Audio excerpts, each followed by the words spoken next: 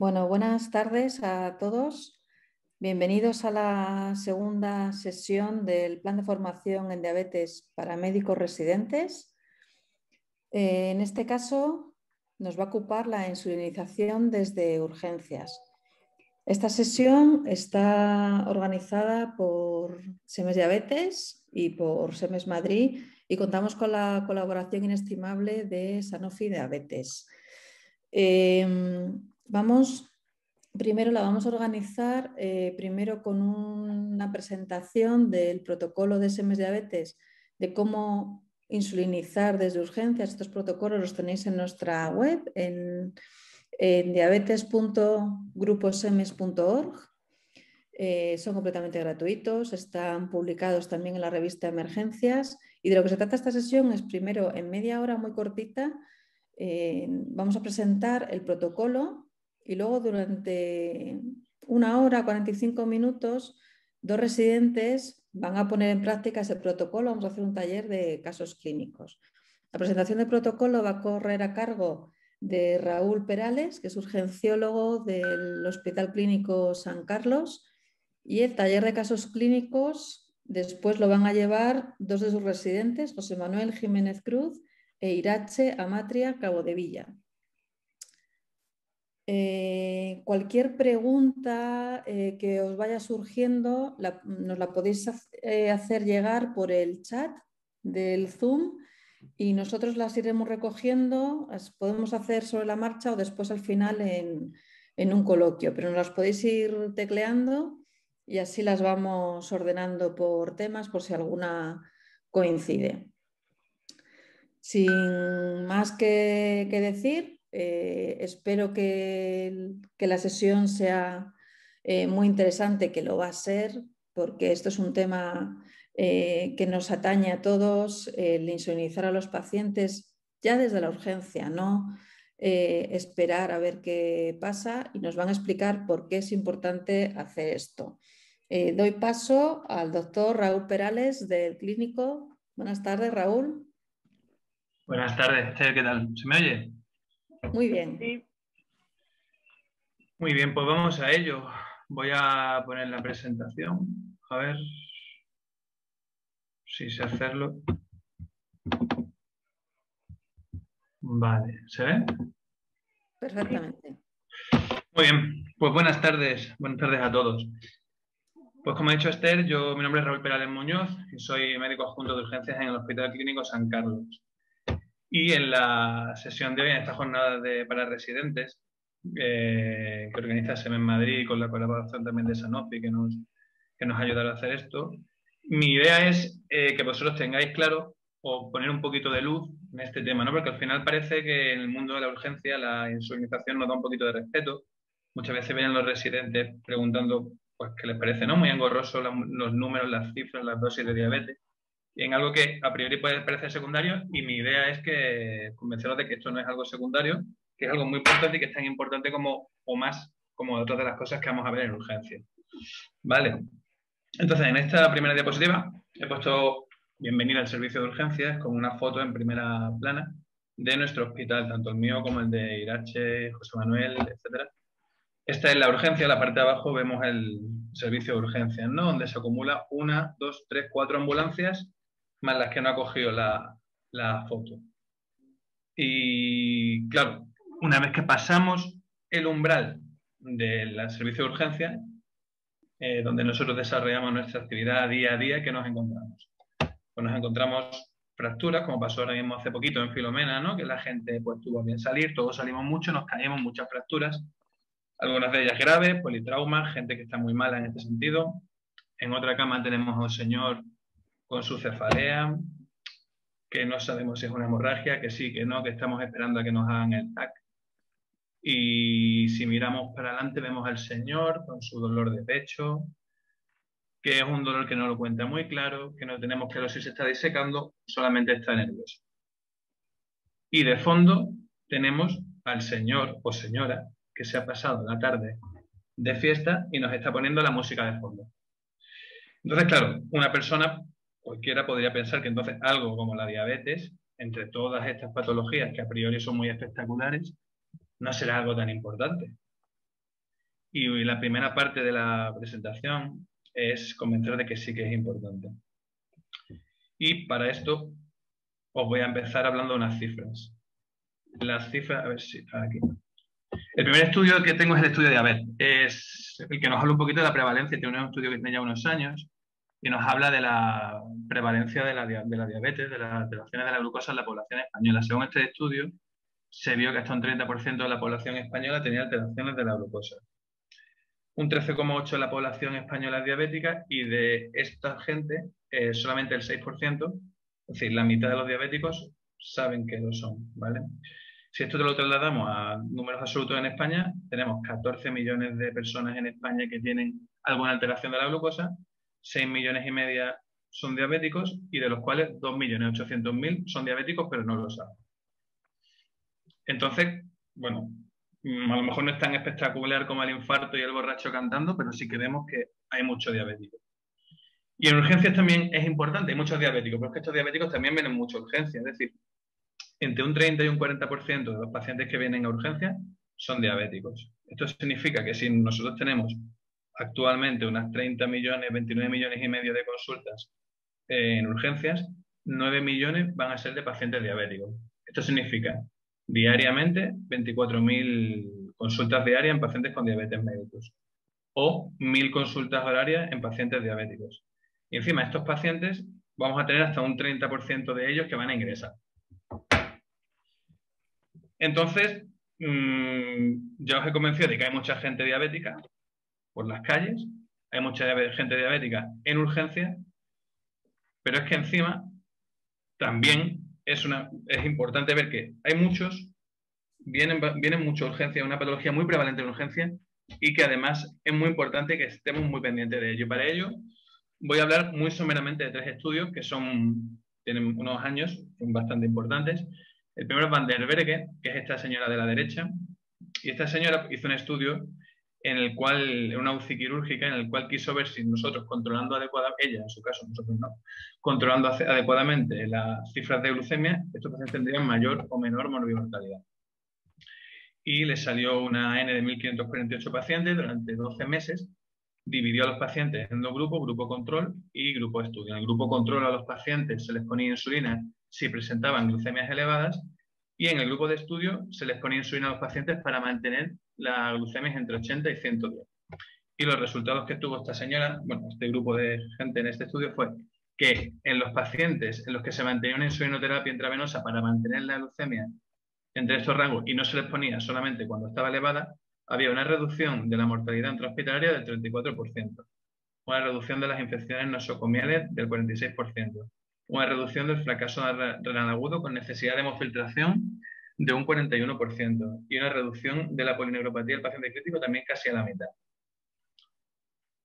Otra persona más es un Pierre, otro de los grandes nombres de la diabetes, por si no le ponéis cara, es este señor de la derecha, hizo un estudio similar en planta de hospitalización, 1.887 pacientes ingresados, los dividió en lo que quiso es ver la mortalidad total intrahospitalaria en función de, si el paciente tenía normoglucemia, era diabético o había presentado cifras de nueva hiperglucemia. Como podemos ver, la mortalidad en pacientes que tenían una nueva hiperglucemia fue del 16%, frente a un 3% de pacientes diabéticos, y si nos vamos a pacientes que tenían cifras de, glucosa normales, 1,7%. Como podemos ver, glucosa alterada implica una mayor mortalidad también para un pierna.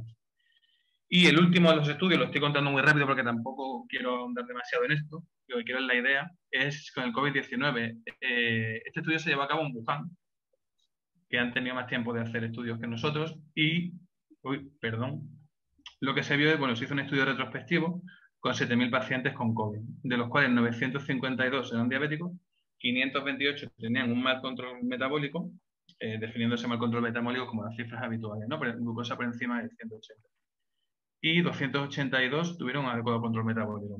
Y lo que se vio aquí es que los pacientes que tenían un mal control de glucosa tenían mayor elevación de factores de inflamación, linfopenia más, más severa, y como esto bien sabemos ahora, por desgracia, implica un mayor riesgo de una enfermedad por COVID severa. Además, en este trabajo también se vio que la tasa de supervivencia en pacientes con mal control glucémico tenía un hazard ratio de 0,14. Es decir, que los pacientes que tenían un buen control glucémico se morían un 86% menos que los pacientes que tenían la glucosa mal controlada. Entonces, con esto, eh, además, eh, hemos visto aquí que en pacientes con infarto tienden a tener, si tienen la glucosa mal controlada, una mayor mortalidad, mayor insuficiencia cardíaca, mayor shock cardiogénico. En pacientes con ictus eh, tienen mayor mortalidad intrahospitalaria, un aumento de la mortalidad de los 30 días y un pronóstico funcional.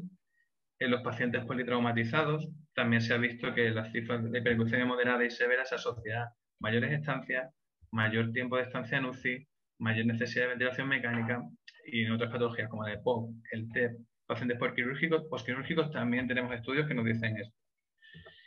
Y en consonancia con lo que hemos visto anteriormente, la glucosa, el control de la glucemia, entonces, está claro que va a influir en instancias medias, en tasas de ingreso en UCI, en tasas de infecciones nosocomiales, en aumentos de la mortalidad, en incapacidades secundarias de enfermedad, en tasas de reingreso. ¿Y en qué se traduce todo esto? Pues en una cosa que siempre ha escaseado, pero ahora incluso un poquito más, que es dinero. ¿Por qué pasa todo esto? Porque ya os he contado que hay muchos pacientes diabéticos, que los pacientes diabéticos vienen mucha urgencia y he encontrado con, con tres estudios que eh, la hiperglucemia hace que el paciente vaya peor. Solamente una diapositiva de fisiopatología y es que cuando tenemos una situación de estrés en el organismo se va a producir una secreción de hormonas de estrés y de péptidos que desencadenará un aumento de, la glucosa con disminución de la insulina.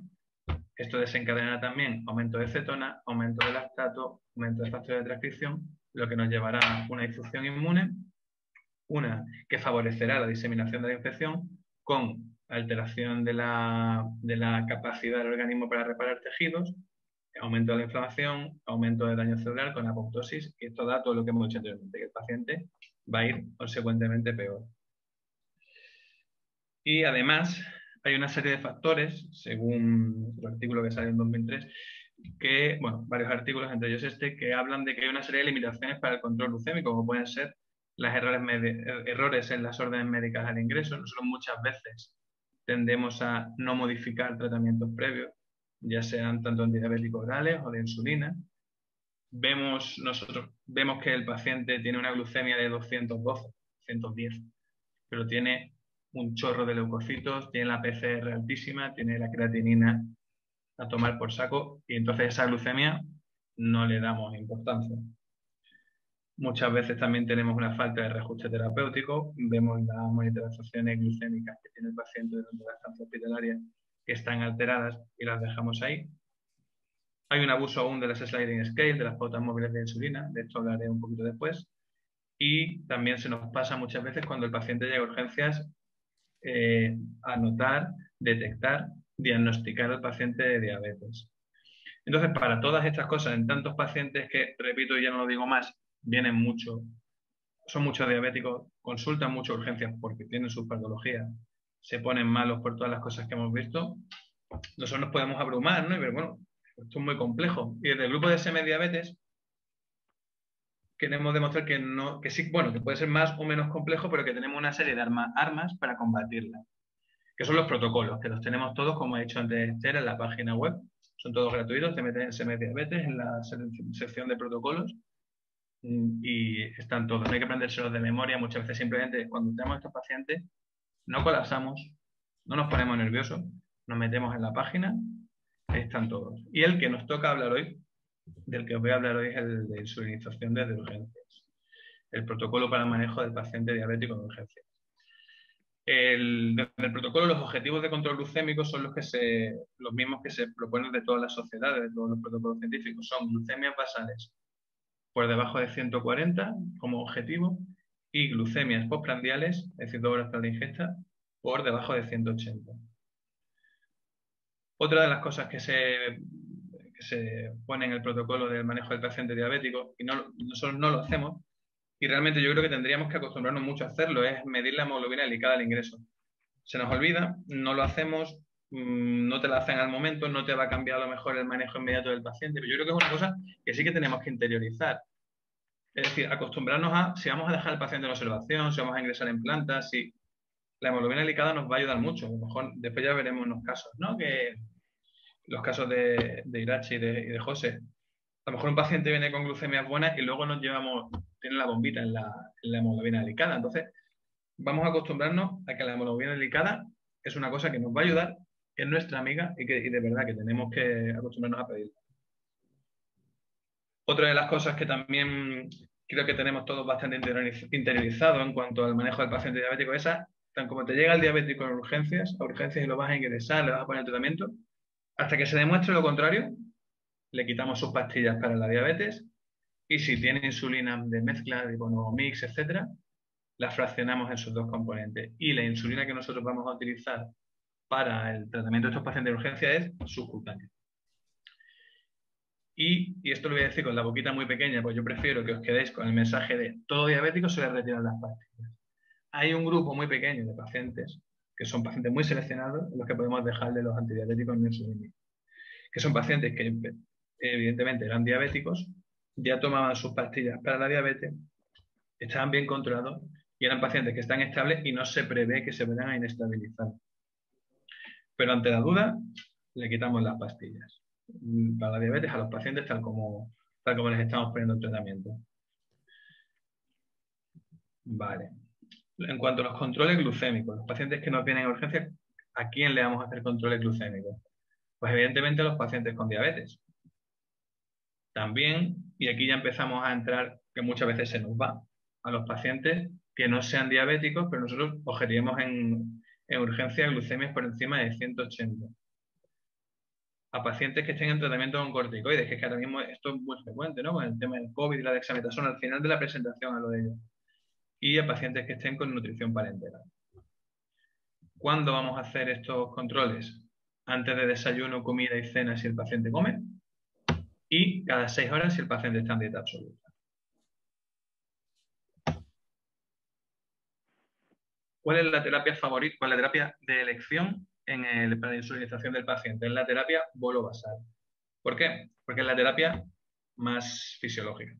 En esta diapositiva tenemos, un, tenemos una gráfica en la que podemos ver los niveles de insulina plasmática durante 24 horas. ¿no? Y lo que vemos es que hay siempre una insulina plasmática basal que hace tres picos que se correlacionan con las comidas, ¿no? desayuno, comida y cena con la terapia bolo-basal nosotros vamos a hacer lo más parecido a lo que hace el organismo, que es poner nuestra insulina basal según las necesidades del paciente y cuando el paciente vaya a necesitar más insulina, nosotros le pondremos nuestros bolos. Y ahora viene eh, el tema de los componentes de la pauta basal, bolo corrección. Es muy sencillo, a veces parece que es un poquito complejo, pero realmente es muy sencillo. El paciente tiene unas necesidades basales de insulina. El paciente va a necesitar unos bolos pues lo que vamos a hacer es, para calcular esto, vamos a multiplicar 0,3 o 0,4 en función de si el paciente pesa menos de 90 kilos o más de 90 kilos por el peso del paciente. 0,3, 0,4 por peso. Y la cifra que nos dé van a ser las unidades de, insulina totales que vamos a ponerle al paciente. La mitad vamos a ponerla en su insulina basal y la otra mitad la pondremos en sus bolos prandiales. Como el paciente o nosotros, cualquier persona come un poquito más, tiende, tiende a hacer la comida, el almuerzo, un poquito más copioso, en vez de ponerlo en dosis iguales, vamos a poner un 30% de la, de, la, de las dosis de insulina que nos salgan en el bolo en el desayuno, un 40% en la comida y un 30% en la cena. Y a los pacientes que coman, además de los bolos, le vamos a poner las pautas correctoras, que las la pongo en la diapositiva siguiente, en las, en las comidas. Entonces, resumen, Pauta bolo basal corrección, que es la pauta de elección para pacientes que insulinicemos. 0,3, 0,4 por peso, la mitad de lo que nos dé lo ponemos en basal, la mitad de lo que nos dé lo vamos a poner en los bolos y a los bolos les vamos a sumar las pautas de corrección en función de las insulinas preprandiales que tenga el paciente. Este es la pauta correctora. Aquí podemos ver cuántas insulinas le van a salir al paciente a poner según la glucemia capilar que le salga. Vamos a ver, esto se modifica en función de las unidades de insulina que tome el paciente diariamente o del peso. ¿Vale? Esto tampoco tenemos que aprendernos de memoria. Esto normalmente cuando tú activas la pauta de la pauta de monitorización de glucemia, a enfermería les sale esta gráfica y ellos casi siempre se lo saben de memoria, pero está aquí puesto y bueno, es algo que es muy sencillo y se añadirá a los bolos.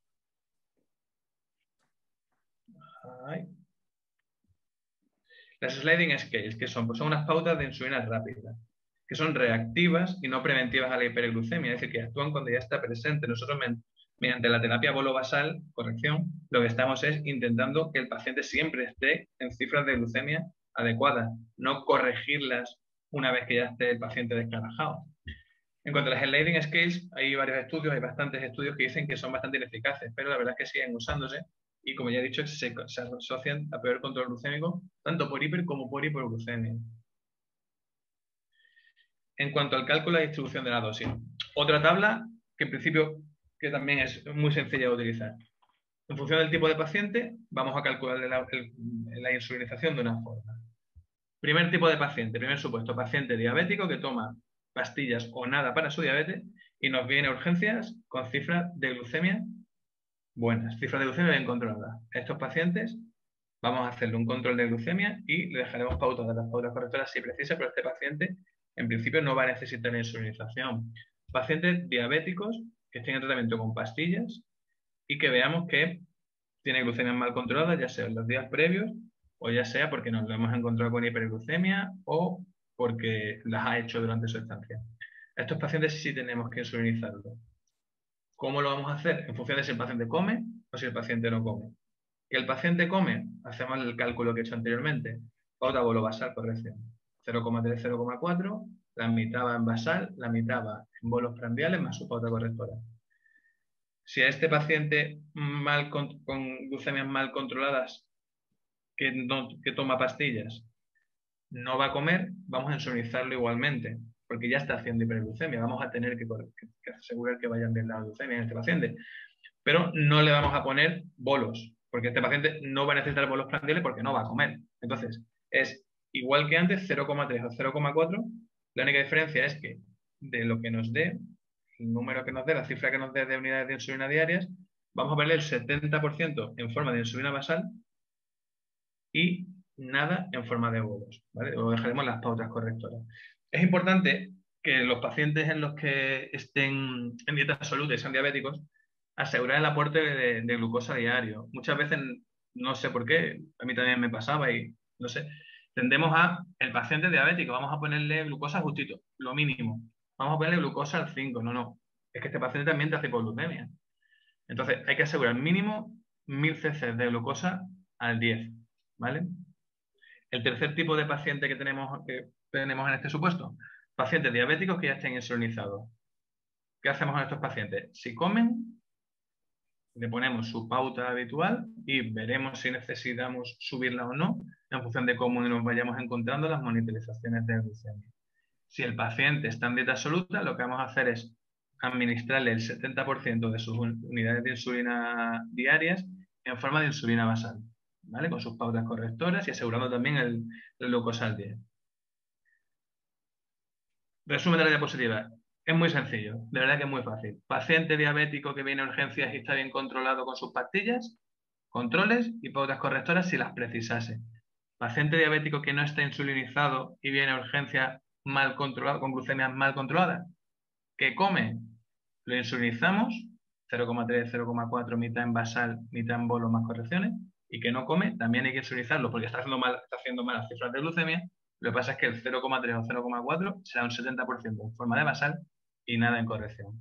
Y el paciente que ya está insulinizado, mantenemos sus insulinas tal cual si el paciente come y si no come, lo que haremos es sumar todas sus unidades de insulina y se las pondremos en forma de basal. Y no olvidaros de lo del glucosado. ¿Vale?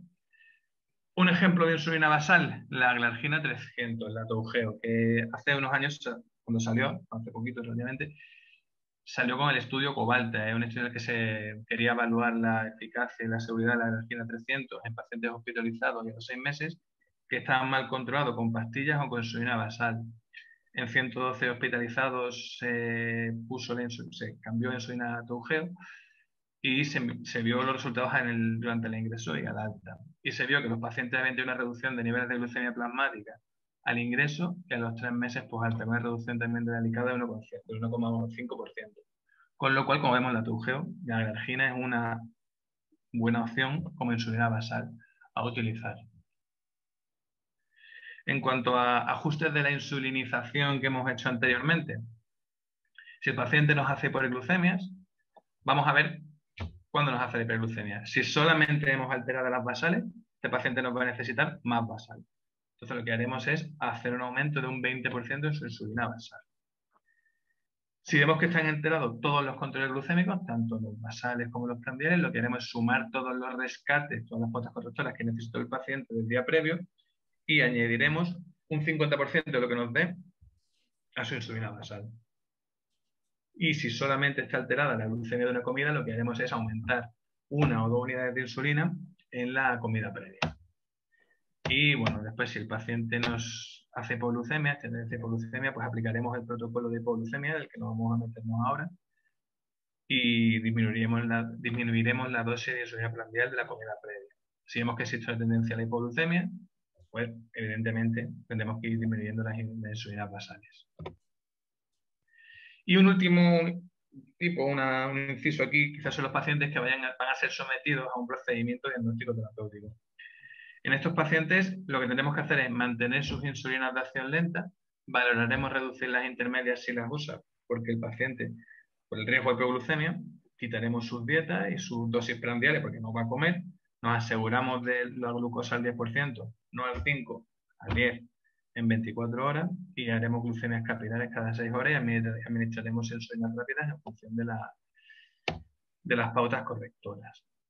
Y una parte, bueno, creo que es interesante, y sobre todo dada la situación actual y ya que estamos hablando de insulinización, hacer, eh, hacer un poquito de, de hincapié en la hiperglucemia favorecida por corticoides.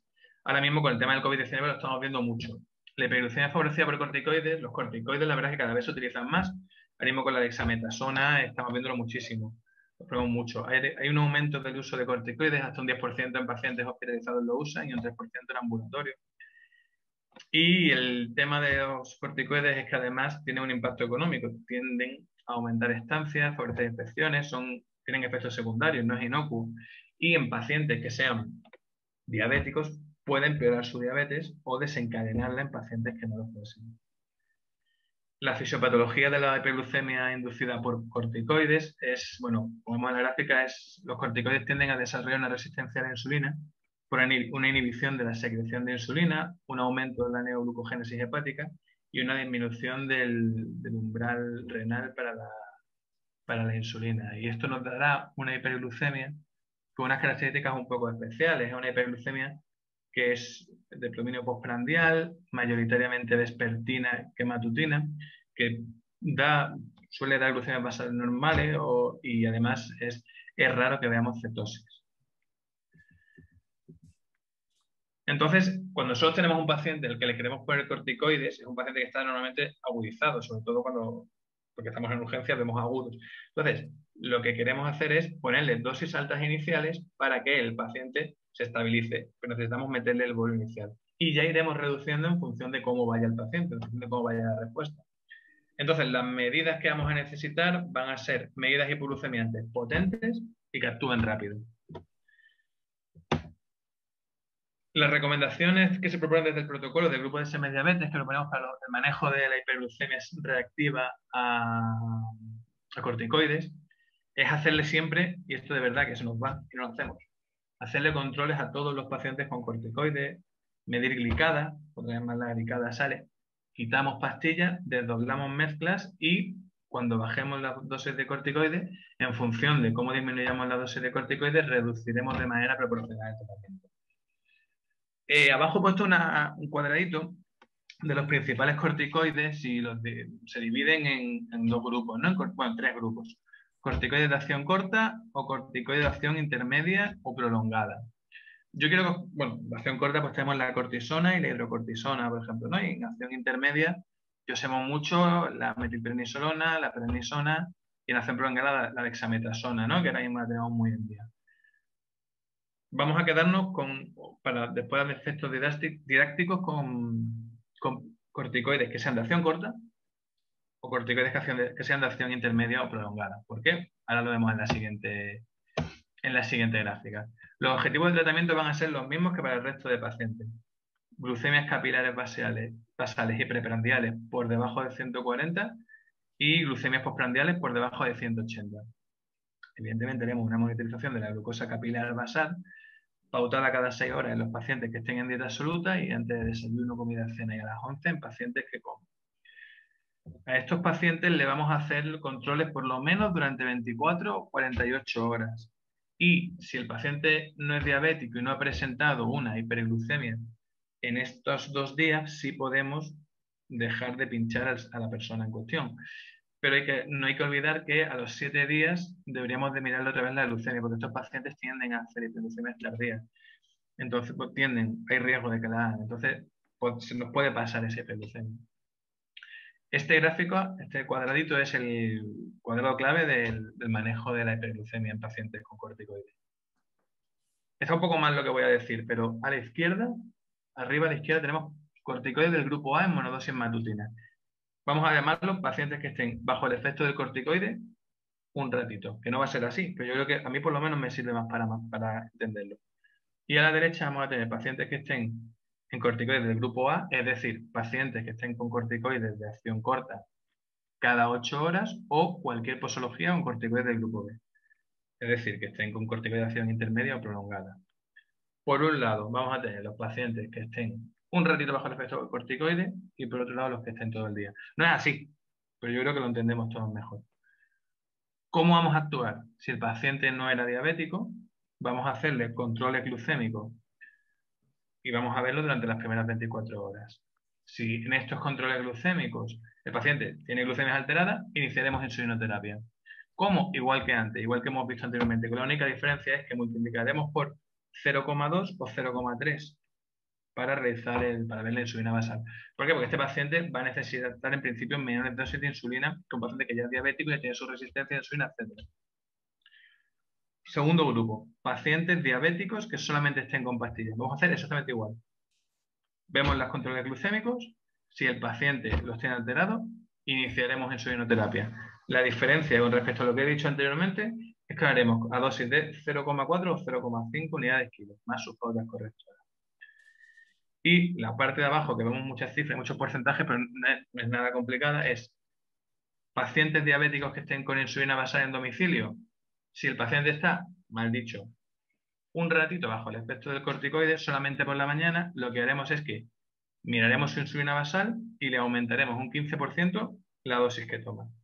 Y calcularemos e iniciaremos una pauta de bolos prandiales si el paciente come.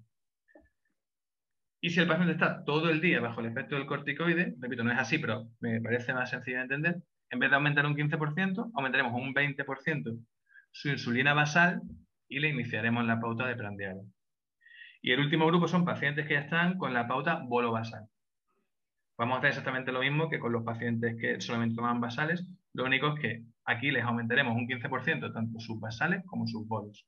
O un 20% en función de si paciente está un, ratito bajo el efecto del corticoide o todo el día. Habrá comentar más o menos. Resumen otra vez pacientes que no sean diabéticos, vemos qué tal están controlados. Si están mal, insulinizamos a dosis de 0,2, 0,3.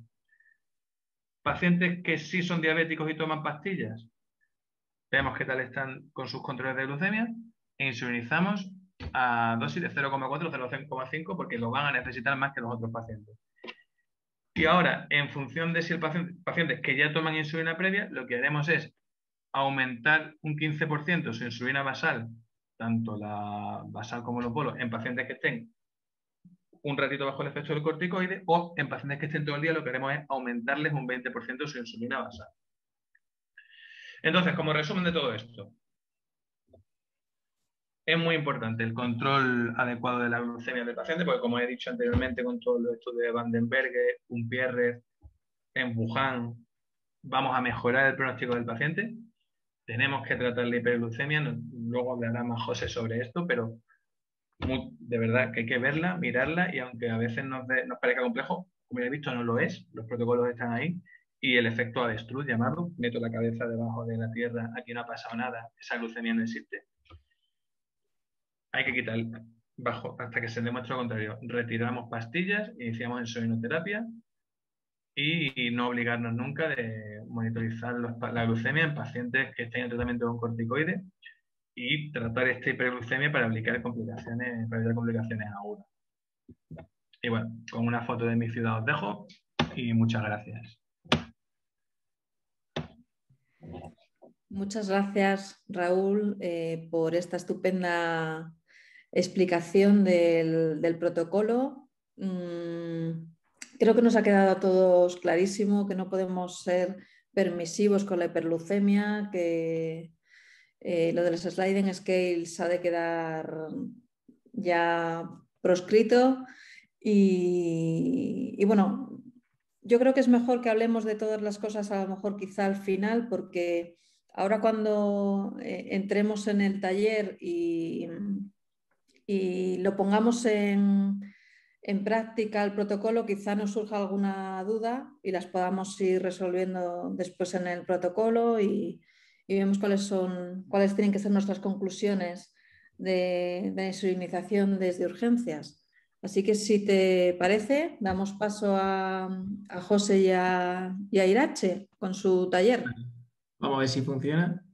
Vamos a darle a compartir.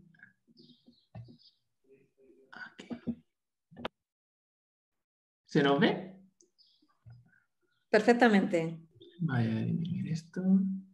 Bueno, eh, en primer lugar, agradeceros la oportunidad tanto al grupo de SMS Diabetes como a tanto a Pablo como a Raúl el poder orientarnos y darnos la oportunidad de presentaros y aportar un granito de arena a, esta, a este seminario.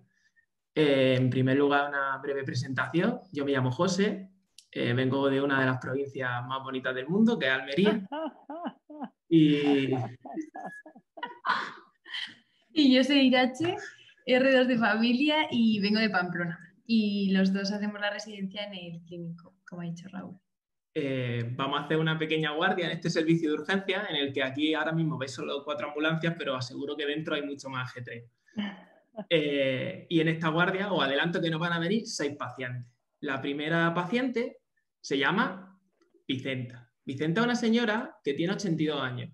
Tiene antecedentes de hipertensión, de lipemia, un cáncer de mama, que ahora mismo ya no tiene ni tratamiento ni seguimiento. Sigue eh, el tratamiento habitual que ella toma es con enalapril y con atorvastatina. Y vive en una residencia de ancianos, aunque es porque ella quiere, porque en verdad es independiente para todo. Acude a nuestro servicio por un cuadro de agitación nocturna y heteroagresividad de hace horas. Y aún así intentamos contactar con la residencia para que nos esclarezcan un poco más, pero tenemos la mala suerte de que no nos cogen el teléfono. La vida es así y las residencias no cogen el teléfono. Sin embargo, en la urgencia también a veces tenemos un golpe de suerte. Y es que nos llama Marisa y para interesarse por su salud. El caso que nosotros, como buenos médicos, pues aprovechamos para que hace una anamnesis más profunda. En esta anamnesis dice que últimamente la ve regular, que ha pedido peso y que se queja mucho de que la residencia no le da ni suficiente ni de beber ni de comer. Además, tiene mareos frecuentes, pero la achaca a la edad. Estos datos ya nos llaman un poco la atención. Así que con estas premisas comenzamos. Hacemos una exploración, la cual pues, aquí podéis ver como que está consciente y desorientada, no presenta focalidad neurológica, está poco colaboradora, eh, está normotensa, tiene una buena saturación, no está taquipneica, no encontramos nada anodino en su exploración, excepto un abdomen que a lo mejor un poco molesto en hipogastrio, pero sin más. En resumen, una exploración anodina. Así que pedimos prueba. La primera prueba que nos llega es un electro, que está sin alteraciones, y una radiografía que no muestra alteración aguda. Y nos llegan las pruebas de laboratorio en la cual ya vemos una leucocituria en el urianálisis con nitritos positivos y una bacteriuria. Y aquí os presento la primera de la analítica. Yo sé que aquí a veces la analítica a los residentes nos dan un poco de pavor porque vemos aquí un montón de cosas a la vez y nos parece normal esta analítica, así vista rápido. Pues yo os doy el 50%. Y os aseguro que este hemograma es completamente normal. Venga, nos fijamos en la bioquímica. ¿Qué nos llama la atención de la bioquímica? Venga, ¿lo vemos? ¿Seguro? Pues tenemos una glucosa de 352. Es una paciente que previamente no habíamos dicho que era diabética. Y es que, si recordamos lo que nos, tenía, lo que nos contaba Marisa, tenemos un diagnóstico de diabetes. Nos vamos a las principales guías. En aquellas nos cuentan eh, que con los principales, con la sintomatología cardinal de la diabetes, junto con una glucemia random mayor de 200, ya tenemos un diagnóstico. En este caso, pues ya nos contaba que tenía poliuria, eh, polidipsia y polifagia. Y ante esto, ¿qué hacemos? Bueno, tenemos tres opciones. Obviamente vamos a empezar con los juegos. Hago como que no lo veo, que se encargue otro, que es una de las tendencias principales entre los residentes, o actuamos como médicos de verdad, comprometidos contra la diabetes y sus terribles consecuencias. Pues como lo había averiguado, la C. Y es que quiero recordaros, esta es simplemente una pincelada que ha dicho antes Raúl, y es que la mortalidad aumenta, sobre todo en pacientes con una nueva hiperglucemia, especialmente los que no teníamos datos previos de diabetes. Así que, mano a la obra, tenemos un juicio clínico, un plan, que es el de, tomamos, por supuesto, no nos olvidamos del resto, hay que un urocultivo antes de iniciar tratamiento empírico antibiótico. Le damos un poquito de aloperidol para ese síndrome confusional y la vamos a dejar ingresada, ya que queremos asegurarnos de realizar un estudio más exhaustivo. Además, nos interesa por qué ha desfrontalizado, tenemos que ver en qué punto está esa diabetes, etc.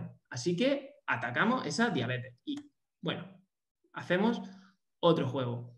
¿Cómo atacamos esa diabetes? Bueno, A, os di cuatro opciones, a ver si alguien se atreve a contestarla. A, hacemos una corrección puntual y con esto lo apañamos. B, iniciamos meformina en urgencia. C, ya que se va a quedar en urgencia, aprovechamos para realizar un abordaje completo de la diabetes, pedimos la glicada e iniciamos insulinización en el momento actual con terapia basal bolo. O el avestruz. Siempre voy a dar esta opción. ¿Hay alguien que se atreva a contestar? Pues como bien dice todo el pueblo, a la vez es la C. Ya que se va a quedar en urgencia, aprovechamos para realizar un abordaje completo. Ya veis que es fácil, como ha dicho antes Raúl, y no las, las pautas que salen en SEMES Diabetes. Y es que en estos protocolos, si seguimos los protocolos adecuadamente, nos podemos ir a las tablas y perfectamente encuadramos a Marisa, a Vicenta, la cual la tenemos en este cuadro ahora mismo. Es una diabetes con dieta que la vamos a dejar con dieta oral ya que no tiene contraindicaciones absolutas. Vemos que aquí tenemos las pautas de cómo administrarla. Y he sido bueno y he dado las tablas. ¿Cuál sería un cálculo correcto con la terapia basal bolo? Venga, os di las cuatro opciones. La primera sería, como la dejamos con dieta oral antidiabética, dejamos a 0,3 unidades de insulina por kilo, 18, 18 unidades aproximadamente, repartir 50 lentas con Lantus, Togeo, o 50, y 50 rápidas, repartidas en tres dosis, 30, 40, 30. La B sería dejarla con la dieta oral antidiabética, 0,3 unidades de insulina por, por kilo, unos 18 unidades aproximadamente a repartir entre 50 lentes y 50 rápidas, más las correcciones, si precisa, cada 8 horas, es decir, con las comidas principales. La C eh, la dejaremos con una dieta normal y nos valdría con la Lantus más correcciones. Y por supuesto, la D, que vuestro signo del zodiaco es el avestruz y vosotros queréis evitar esto a toda costa. Pues en este caso, la, la respuesta correcta sería la D. Y es que aquí la clave está en las correcciones. Si os dais cuenta, nunca hay que olvidar las correcciones en los pacientes que vamos a dejar eh, ingresados, ¿vale? Así que tenemos varias lecciones a sacar.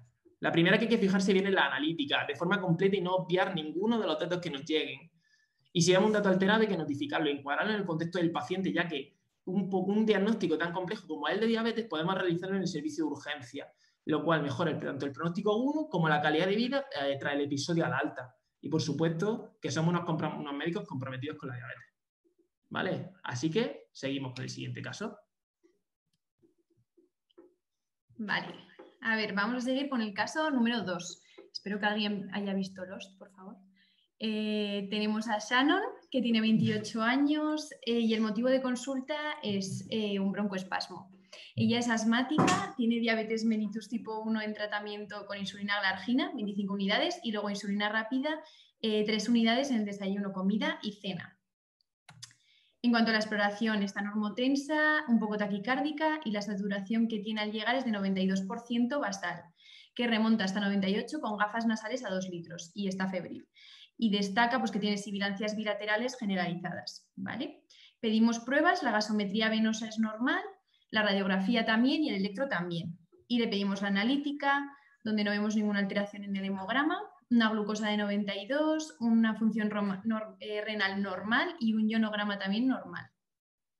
Vale, entonces le ponemos actocortina Shannon y inhalaciones, mejora un poco, pero la, la dejamos en observación en la unidad de corta estancia con sus inhalaciones y con 40 miligramos de metilprednisolona al día. Entonces, ahora, ¿qué hacemos con su tratamiento para la diabetes?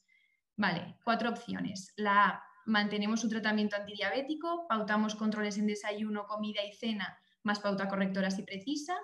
B, retiramos su tratamiento antidiabético, pautamos controles en desayuno, comida y cena, más la pauta correctora si precisa. C, aumentamos el 20% su insulina basal y dejamos su insulina y aumentamos también su insulina prandial, dejamos controles en desayuno, comida y cena, más la pauta correctora. O D, aumentamos un 20% su insulina basal, mantenemos su insulina prandial y dejamos controles cada 6 horas y la pauta correctora si precisa. No sé si podéis contestar por el chat y así vemos qué os parece. No sé si contesta alguien, Esther.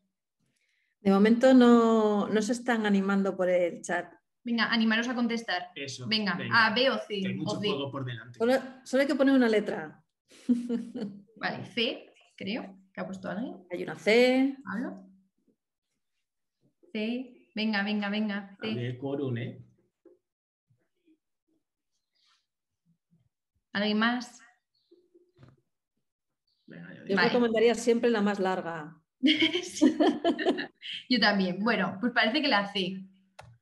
Pues es la C, efectivamente. Y si nos vamos a las tablas que ha puesto antes Raúl, el urbasón o la metilprednisolona sería un corticoide de acción intermedia del grupo B, entonces, de los que actúan eh, durante más tiempo. Entonces estamos en la parte de en una, en una paciente diabética tratada con insulina basal y bolo, pues ¿qué tendríamos que hacer con un corticoide del grupo B? Aumentar el 20% su insulina basal y sus bolos y además dejar controles y la pauta correctora si precisa. ¿Vale? Pasamos al siguiente. Bueno, antes Raúl ha hecho un poco de spoiler y es que viene a, visitarnos en, esta guardia, nos viene Homer. Homer es un varón de 38 años con los siguientes antecedentes. No tiene alergias, es obeso, dislipémico, una diabetes ya conocida y una coleritis sin seguimiento por el Servicio de Cirugía General. En nuestra base consta que sigue tratamiento con atorvastatina y metformina a diario, aunque los familiares que han venido con él dicen que no se cuida demasiado, que realmente no es muy cumplidor de su terapia. Viene por un cuadro de 36-48 horas de evolución, de dolor abdominal, náusea y vómitos intensos que no le permiten la ingesta oral. Además, eh, dice que no ha realizado ninguna transgresión dietética, que no nos lo creemos, y, y que ninguno de sus familiares se encuentra en su mismo estado.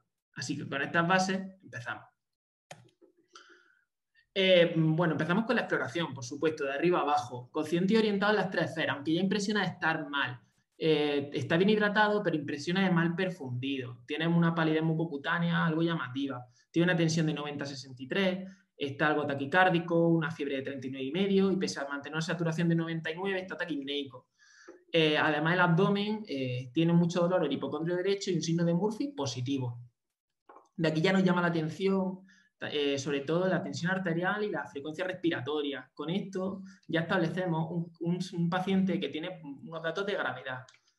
entonces, con este paciente, ya que tenemos un foco de posible infección y además un paciente que tenemos que estar muy atentos, ya deberíamos iniciar pues, tanto la suroterapia intensiva como analgesia y además aliviar, eh, para aliviar al paciente. Y además, pues el antibiótico orientado a un posible foco abdominal. ¿Vale? Así hacemos un abordaje completo. Continuamos con las pruebas. Es que nos llega al principio eh, el electro, que es un electro normal, eh, y una gasometría. La gasometría la vamos analizando poco a poco. Ya nos llama un poco la atención ese pH de 728, el lactato elevado y un ionograma normal. Os lo resumo fácil. Es una alcidosis metabólica con alcalosis respiratoria y algo más. Venga, esa glucosa, 235. Hay que fijarse en ella. Por supuesto, ya tenemos hiperglucemia y acidosis.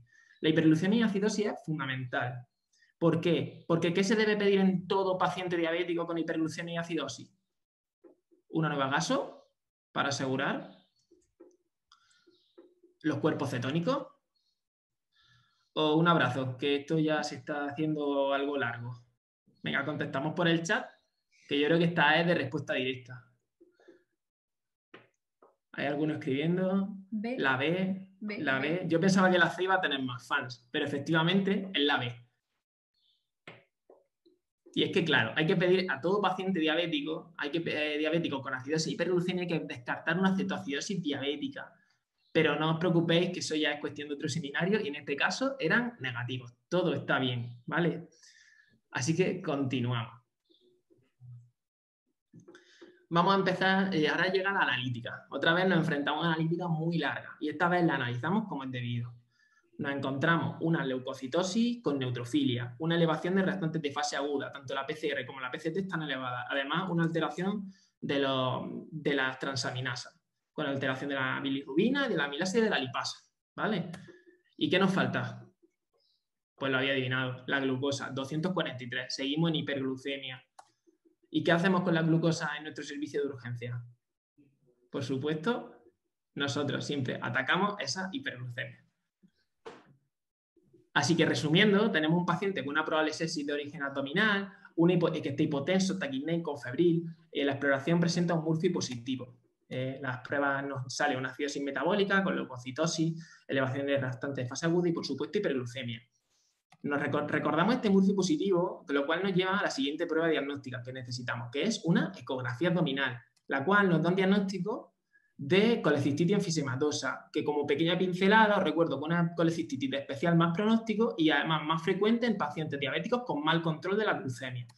Y es que hasta hay que avisar a los cirujanos ante esto, que los cirujanos llegan, en este caso, ven las pruebas y efectivamente una colecistitis y deciden operar. Así que guau por ellos. Y nada, pues, ¿qué podemos hacer nosotros hasta por ahora? Venga, ¿cuál sería una buena opción de tratamiento? Seguimos jugando. Iniciamos sueroterapia intensiva con antibioterapia, dieta oral antidiabética, control de glucemia y corrección mediante insulina. La B sería sueroterapia intensiva con antibioterapia enfocada en origen abdominal, dieta absoluta con control de glucemia y corrección mediante insulina rápida exclusivamente por turno. La C, sueroterapia intensiva, antibioterapia, dieta absoluta, control de glucemia cada 6 horas inicio de tratamiento de hiperglucemia con corrección inmediata mediante insulina rápida e iniciar además insulina pautada, calculada 0,3, 0,4 y repartida 70% lenta más las correcciones oportunas con rápida o imprescindible, el avestruz. Venga, comenzamos. Seguimos. Aquí veo respuestas más rápidas que efectivamente, como habéis averiguado, siempre la opción larga o la C en la en, las preguntas tipo T. Y efectivamente, es la C. Es que sonaba demasiado bien. Pero eh, como hemos leído mucho, vamos a repasar por qué no las otras opciones. Primero, que no se puede poner dieta oral a una patología abdominal la cual sospechamos, o en este caso tenemos la certeza de que va a ser intervenida quirúrgicamente. Y, por supuesto, la B, como hemos recordado antes Raúl, en, un paciente que tiene dieta eh, absoluta, requerimos de insulina de acción lenta, LANTUS, TOGEO, para manejo estable en urgencia. Por supuesto, la D, es que no somos una avestruces, somos unos cracks que abordamos al paciente de manera integral. Y es que si nos vamos al protocolo nuevamente, vemos que a este paciente lo situaríamos en un diabético de mal control que vamos a dejar en dieta absoluta. Y vamos a ayudar un poco con este manejo. Calculamos, vamos a hacerlo paso por paso, no os preocupéis porque no nos vamos a perder. Y es que calculamos la dosis basal de insulina, que si los 115 kilos, que como son más de 90, lo, lo multiplicamos por 0,4, nos sale 46. De ella cogemos el 70%, 32, unidades, las cuales aplicamos de forma de insulina lenta. Y controles cada 6 horas, recordamos, absolutas 6 horas, eh, con dieta oral cada 8 con las comidas. Y con las respectivas correcciones. Y no nos olvidemos de la sueroterapia, que se hace 1500 de suero glucosa al 10% más 1500 de suero fisiológico aditivo con potasio.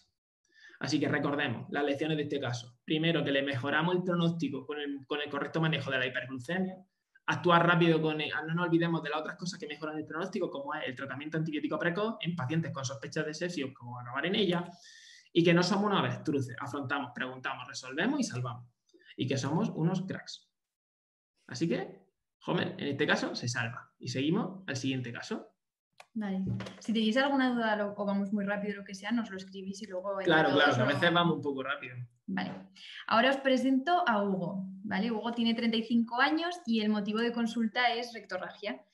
Como antecedentes es obeso, tiene una diabetes mellitus tipo 1 en tratamiento con insulina basal 40 unidades e insulina SPART 575.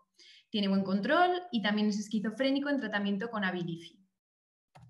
Vale le exploramos. Está hemodinámicamente estable, afebril. en la exploración destaca pues, que le tenemos que hacer un taqueo rectal y no le hace ninguna gracia. Pero bueno, se lo hacemos y tiene eh, heces normales teñidas con sangre fresca. ¿vale? Le pedimos una analítica y tiene un poquito de anemia, el resto del hemograma normal, una PCR de 1,2, una función renal normal y una glucosa de 95. Vale, le, decimos a Hugo que le vamos a dejar en la unidad de corta estancia para hacerle de forma preferente una colonoscopia. Entonces, que le vamos a tener que dejar eh, con enemas y dieta pobre en residuos eh, desde hoy y que ya luego le dejaremos encima en ayunas. Entonces, Hugo te mira con esta cara de que encima le han pasado una hamburguesa a sus familiares sin, sin preguntarte, ¿no? Y como que, que me vas a dejar sin comer. Vale. Entonces, primero le dejamos con enemas y dieta pobre en residuos. ¿Qué hacemos con su tratamiento? Que era la insulina glargina 40 unidades y la insulina Spart, ¿vale? Eh, a. Sospechas que Hugo va a comer menos de lo normal, así que retira su tratamiento habitual, le dejas con controles cada 8 horas y pauta correctora si precisa. B. Mantiene su tratamiento con insulina glargina, insulina Spart, dejas controles cada 8 horas eh, con pauta correctora si precisa, sin embargo, tampoco te parece descabellado que puedas extender un poco eh, su pauta basal y prandial porque va a tener una dieta pobre en residuos que parece muy diferente a su dieta habitual. C. Mantiene su tratamiento con insulina glargina 40 unidades, suspende su insulina prandial, dejas controles cada 6 horas con pauta correctora. O D. Mantiene su tratamiento con insulina la argina, suspendes insulina prandial, inicias 1000 cc de suero glucosa al 10%, dejas controles cada 8 horas con pauta correctora si precisa. ¿Cuál os parece?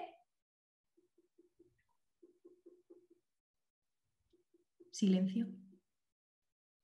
A ver, ¿cuál os parece? Son muy largas, pero no contesta nadie. Vale, ¿alguien contesta? ¿Alguien más se anima? Vale. Vale, pues como estáis poniendo, la B sería la correcta. Vale. Y nos vamos al cuadro de todo, en el que estamos todo el rato. Pues es un diabético en tratamiento con insulina. Hugo aún está comiendo, entonces habría que dejar su insulina eh, habitual valorando un aumento, o en este caso pues hemos podido plantear hasta un descenso porque su dieta puede ser mm, muy diferente a la suya, y su pauta de corrección y sus controles siempre. ¿Vale? Y entonces llega el momento de dejar a Hugo en ayunas le dices que te mira con esta cara y le dices que se tranquilice, que tienes un plan. ¿Qué haces con el tratamiento de Hugo ahora que no va a comer? A. Retira su tratamiento habitual, dejas controles de glucosa capilar en desayuno, comida y cena y su pauta correctora. B. Mantienes su tratamiento habitual, dejas controles de glucosa, desayuno, comida y cena y pauta correctora. C. Administras el 70% de su, de su dosis habitual de insulina glargina mantienes los bolos prandiales de insulina rápida, dejas controles de glucosa capilar cada 6 horas, más pauta correctora. D, administras el 70% de su dosis habitual de insulina glargina, retiras los bolos prandiales de insulina rápida y dejas controles de glucosa capilar cada 6 horas más la pauta correctora. Vale, muchas Ds. Genial. Y segundo paso, ¿qué hacemos con la sueroterapia? O si le pondríais sueroterapia pautas 1500 cc de suero fisiológico con cloruro potásico más 1000 cc de suero glucosado al 10, lo mismo pero al 5%, no precisa sueroterapia y solo si hace hipoglucemias le pondrá su suero glucosado o ninguna de las anteriores es verdadera.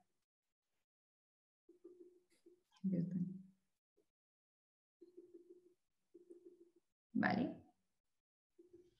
Pues como dice, aquí hay algunas diferentes, pero bueno, la mayoría la hay. Eso es.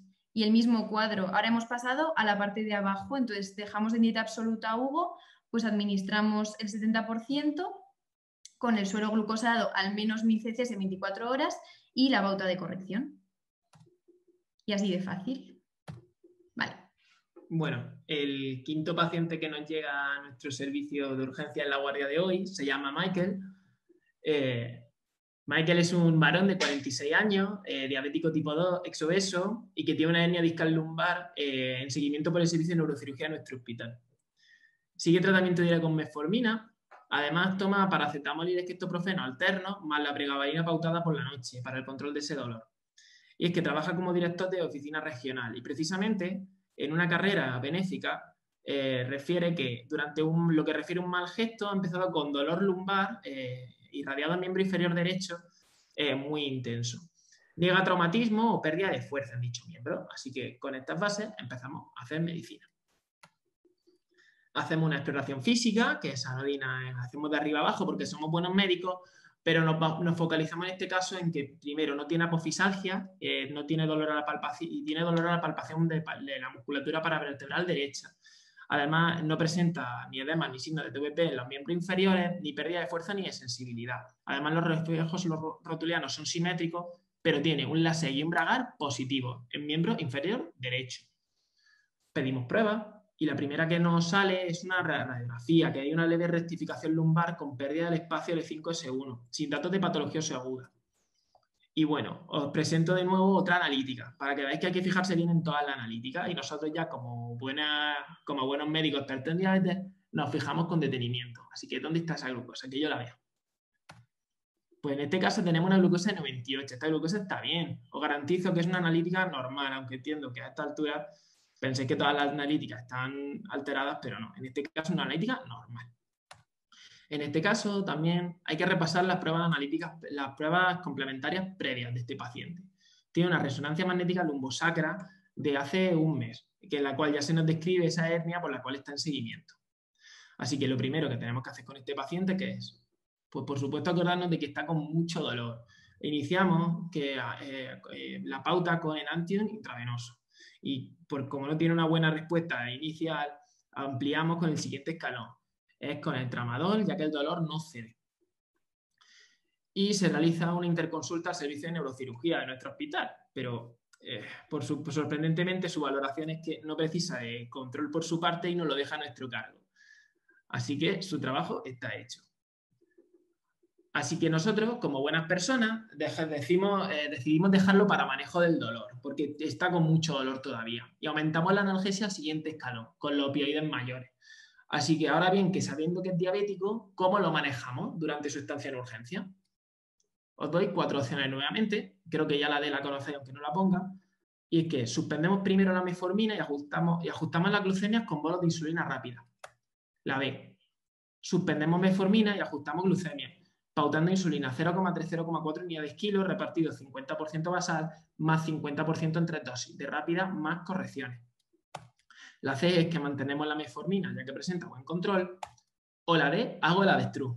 Así que vamos a ver si nos dan opciones nuestros participantes, a ver cuál por cuál se decantan en este caso.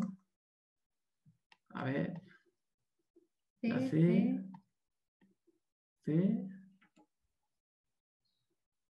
¿Hay alguna C más? Pues mira, pues sorprendentemente este era un caso de trampa, ya que os presento un paciente en el cual vamos a mantener la metformina, ya que presenta un buen control en contra de lo que hemos dicho hasta ahora. Y es que vamos a recordar varias premisas de este paciente. Primero, tiene un buen manejo a priori de la diabetes. Se prevé un ingreso corto, ya que es un manejo del dolor lo que estamos valorando. Y por su aparte, en la diabetes, eh, como antes hemos recordado en varios casos, en este caso no aporta nada el manejo de la diabetes en el control, no influye a priori en el pronóstico del manejo analgésico. Además, la meformina en este caso concreto no presenta ninguna contraindicación. Y en adición, no vamos a dejar de pedir registrar los controles glucémicos durante el ingreso. Así que este paciente mantenemos la metformina. Este es uno de los pacientes que os queríamos presentar en los cuales no hay que retirar los antidiabéticos orales. Así que Fin del caso número 5. Y seguimos, que ya solo queda un paciente y esta guardia se acaba.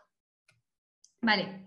Y el último paciente es John, que tiene 73 años y el motivo de consulta es enrojecimiento y dolor en la pierna derecha. Como antecedentes te dice que toma dos pastillitas, la negra y la, y la blanca, y tú descubres que es la del azúcar, que es la metformina, y la del colesterol, que es la torvastatina. Vale. En cuanto a la exploración, hemodinámicamente estable, con fiebre de 38,2 y, y, te llama la atención pues, que la pierna derecha la tiene roja, eh, caliente, tiene un Homans dudoso. Entonces le pides una analítica. Y en la analítica ves que tiene una leucocitosis con neutrofilia, una PCR de 15, una procalcitonina de 0,9, una glucosa de 170, una función renal normal, un ionograma normal y un dedímero de 200 negativo.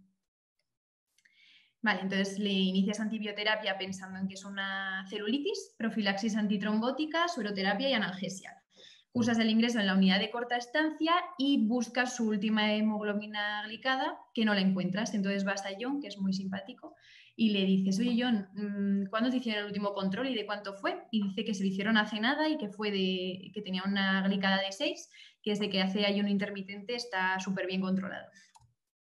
¿Vale? Entonces, ¿qué haces con el tratamiento eh, para la diabetes de John?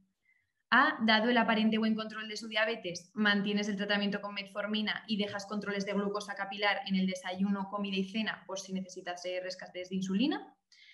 Eh, B, dado el aparente buen control de su diabetes, mantienes tratamiento con metformina habitual y no precisa de controles de glucosa capilar. C, retiras la metformina y dejas al paciente con controles en desayuno, comida y cena, junto con una pauta correctora si precisa o de me da igual que sea el paciente con las mejores cifras de glucosa de la urgencia, pautas insulina subcutánea de entrada, en mi unidad de corta estancia no existen las hiperglucemias. A ver, ¿cuál les parece ahora? A ver quién se anima. Venga. La A. La A.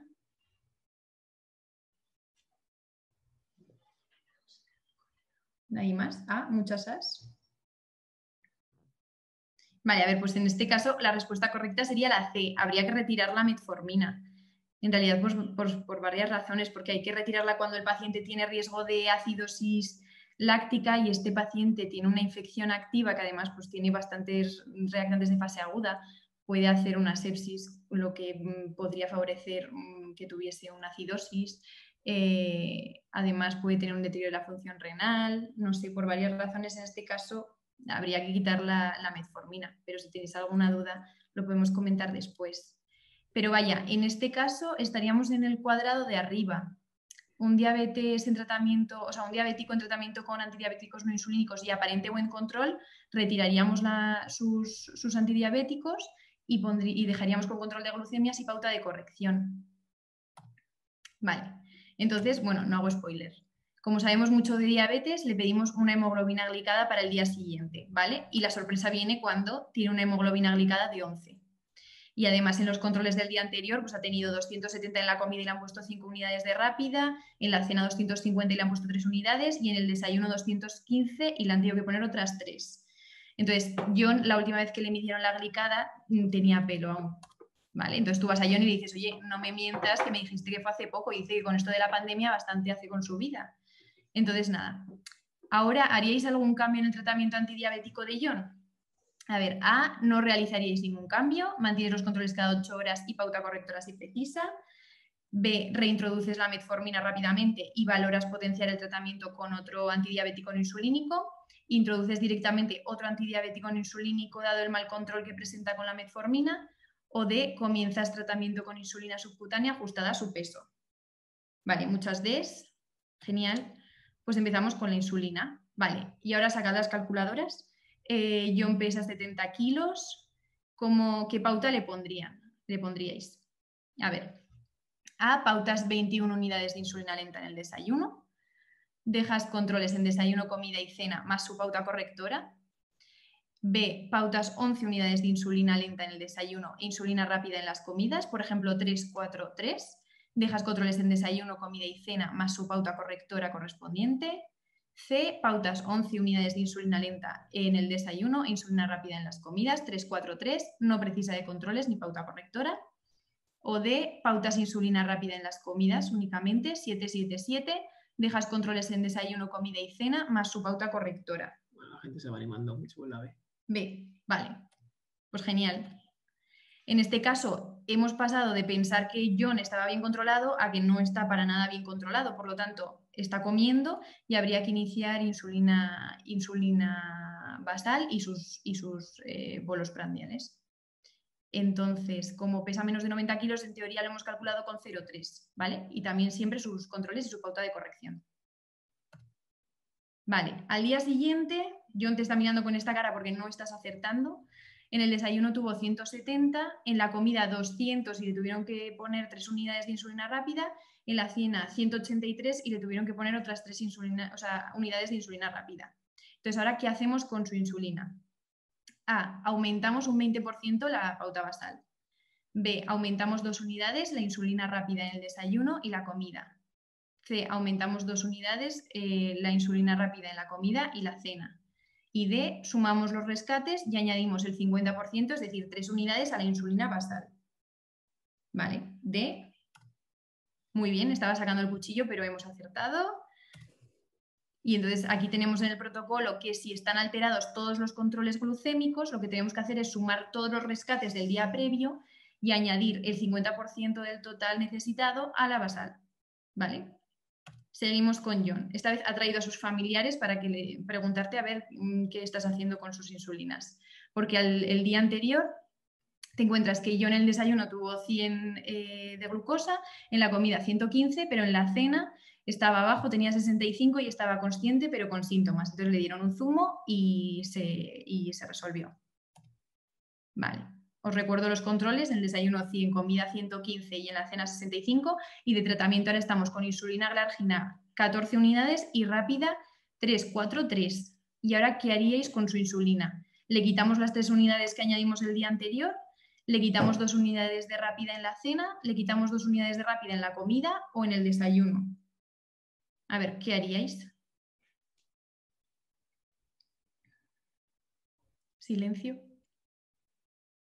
¿Nadie se anima? ¿Alguien dice la B? La C. Muchos la C. Vale, pues es la C. Quitamos dos unidades de insulina rápida en la comida previa. ¿vale? Aquí tenemos el tratamiento de la hipoglucemia, que tampoco viene ahora al caso, pero bueno, eh, estaba consciente, entonces eh, le dieron glucosa oral y con eso se resolvió. Y en cuanto a la hipoglucemia, pues en el protocolo lo que nos dice es que si eh, la hipoglucemia es aislada, lo que tenemos que hacer es disminuir la insulina eh, prandial de la comida previa. ¿Vale? Y eso es todo. Y ya he terminado nuestra guardia. Sí, ya por fin ha llegado el siguiente turno. si tenéis alguna duda. Sí, antes debemos, debemos corregir una cosilla que se nos ha colado en una de las diapositivas y me gustaría volver antes de comenzar el turno de preguntas y es precisamente a la diapositiva en la que está echando una mano para ajustar la glucemia de Homer, que es... A ver, ¿dónde está esa diapositiva?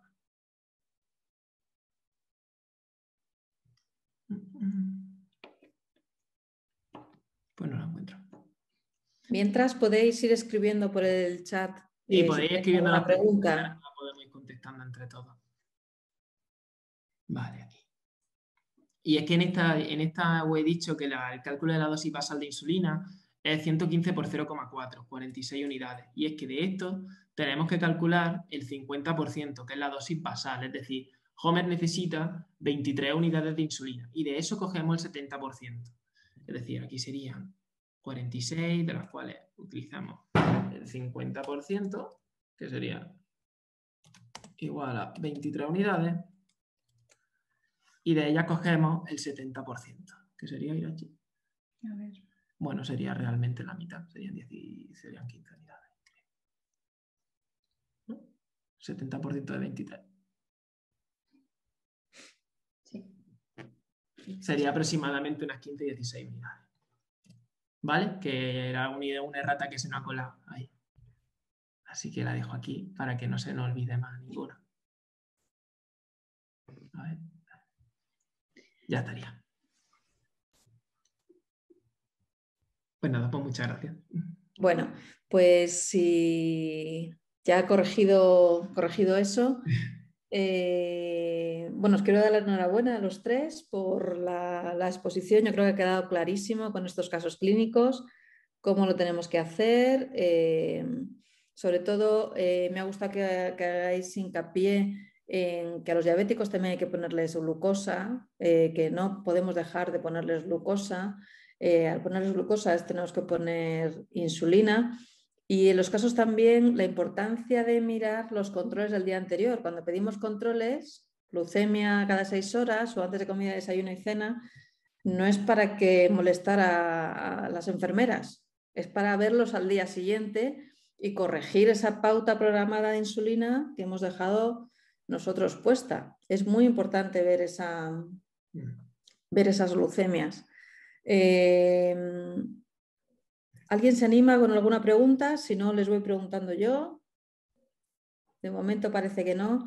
Eh, quería preguntaros a ver qué os parece, a cualquiera de los tres o a Raúl, eh, la permisividad que tenemos habitualmente con la hiperlucemia. ¿no? la, la hipoglucemia nos da mucho miedo, pero la hiperlucemia como que nos vamos a tratar la neumonía, a tratar la colecistitis e intentamos hacer el avestruz. Eh, ¿A qué creéis que se debe eso? No sé si he vuelto al audio, ¿no? Sí, me veo. ¿A qué se puede deber esto? Bueno, la hipoglucemia es que sabemos que el paciente viene, se, está malo y vienen sintomáticos y, y, tienen la causa, que otras veces no la comemos también la hipoglucemia. En cuanto a la hiperglucemia, yo creo que es lo que he dicho antes, ¿no? Tiene muchas otras cosas. Cuando estamos en urgencia tenemos muchos estímulos todos, ¿no? Y al final la hiperglucemia en principio, al no dar tantos síntomas, no tenemos un efecto, o sea, no nos da el estímulo, ¿no? Que otras cosas sí que nos dan, las tropoinas, el dolor torácico, cosas que son mucho más espectaculares. La hiperglucemia es silente, ¿no? Es lo que se dice. Y yo creo que esa es la clave de esto que es y por eso yo creo que somos tan pesados en el buen sentido que, es que hay que, concienciarse, que es que hace daño a largo plazo. Y por eso tenemos que concienciarnos mucho con ello. Yo creo que esa puede ser la causa, no se copiarán José y Dache.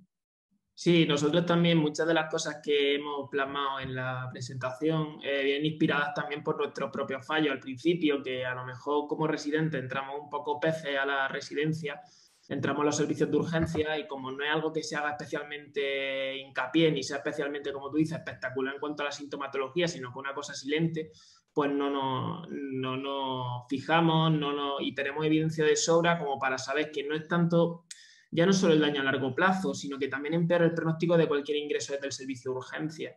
Y por eso tenemos que hacer tanto hincapié, porque al final son cosas que mejoran el pronóstico de nuestros pacientes y el fijarnos bien nos va a proporcionar un servicio mucho más integral, que como tú dices es una cosa que nosotros pues cuando llegamos, pues chicos, nos falta mucho tablas y al llegar a una urgencia y que te hagan hincapié desde el principio en esto me parece fundamental. Como cualquier cosa, como el código sepsi o cualquier cosa, pues tenemos que ser, ser así de incisivos con la glucemia elevada.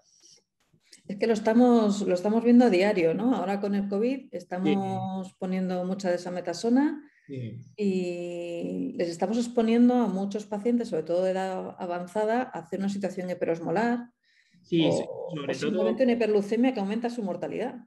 Y además hay un tipo de paciente como el del primer caso, que estamos viendo yo creo que más frecuentemente en los últimos tiempos, porque eh, por la reticencia de la gente a acudir al centro de salud o a ámbito sanitario de manera sintomática simplemente para hacerse un control por riesgo de infección, eh, muchas veces las diabetes debutan en este caso. Además, estamos expuestos a mucho sedentarismo, a mucha comida a domicilio, a muchos factores que influyen en, nuevos diabéticos eh, que son silentes y eso lo vamos a ver, vamos, lo estamos viendo más frecuentemente en la urgencia en los últimos tiempos y tenemos que ser muy incisivos con ello, creo. Además, como he dicho también, el primer caso era para reflejar también el que hay ciertos pacientes que nosotros podemos mejorar también el pronóstico, no solo a corto plazo durante su ingreso, sino a largo plazo, porque un nuevo diagnóstico de diabetes es quizá uno de los mejores pronósticos que podemos tener ahora. El, cambio en su inercia como paciente futuro. Y mm, otra pregunta eh, que os iba a hacer, las sliding scales, eh, se siguen viendo, poquito, pero se siguen viendo. Eh, ¿por qué no podemos usar las sliding scales? Oye, pues cuando tenga hiperlucemia le trato y ya está, ¿no?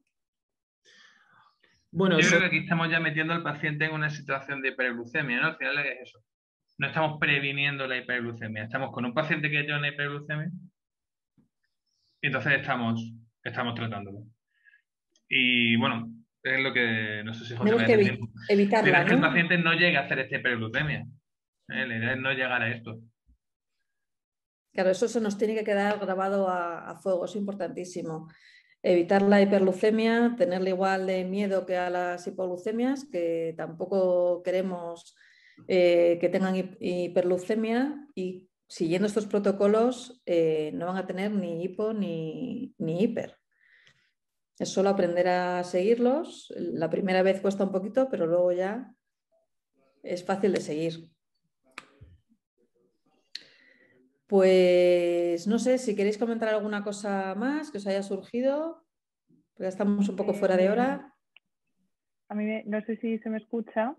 Sí. Sí, bueno, eh, enhorabuenísima a José y a Irache, a Raúl también, que no se enfade, que es mi adjunto. Eh, lo habéis hecho genial, creo que es súper importante porque Eh, ahora ya que de residentes mayores y ya también los pequeños eh, cada vez más tienen que cerrar pacientes y tienen el paciente diabético que esto les sirva que al menos eh, que le salte la alarma, que le dediquen aunque sea un momento a pensar con qué tratamiento le, le van a dejar, que no hagan el avestruz porque parece de broma pero es muy frecuentemente se hace.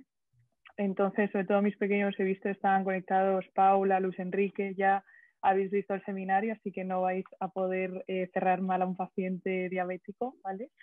Y yo creo que es súper importante que la, la hipoglucemia nos, nos asusta más, pero la hiperglucemia sabemos cómo tratarla como residentes, aunque nos estén metiendo prisa, aunque la sala esté que se cae, creo que tenemos que dedicarle un poco de tiempo, que no se, ahora como hemos ido haciendo los casos clínicos, que es para su momento ver en qué punto del tratamiento se encuentra el paciente y cerrarlo, porque yo creo que le podemos aportar un beneficio y no esperar a que el que lo vea mañana en la unidad de corta estancia lo haga por nosotros y sabemos hacerlo. Muy bien, muchas gracias por tu, por tu aportación, importantísimo todo lo que dices. Mm. Pues si os parece, ya nos hemos pasado un poquito de tiempo, vamos a cerrar las jornadas. Muchas gracias a todos los, que, los participantes, hemos llegado a ser más de 80 personas. Eh, muchas gracias por escucharnos y esperemos que esto sirva para que podamos tratar muchísimo mejor a nuestros pacientes. Gracias a los ponentes, a SEMES Madrid y a, y a Sanofi por la colaboración. Gracias. Gracias, hasta luego. Vosotros, hasta luego. Hasta luego.